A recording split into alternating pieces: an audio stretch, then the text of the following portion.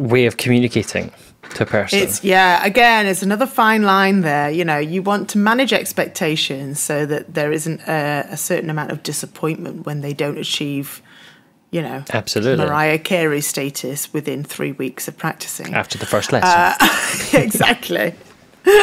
but also, like you say, not demotivating them by telling them that their goals are, uh, you know, Pie in the sky. unachievable.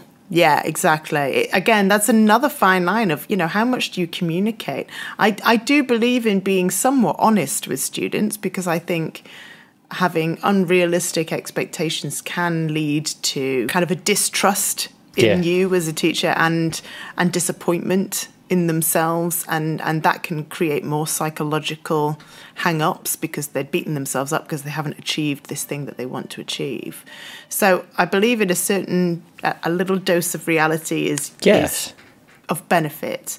But at the same time like i'm very careful. I will never ever tell someone that they won't make it as a singer for example. Yeah. i would never tell someone you know don't audition because you won't get in because i don't know that. I'm not in charge of that decision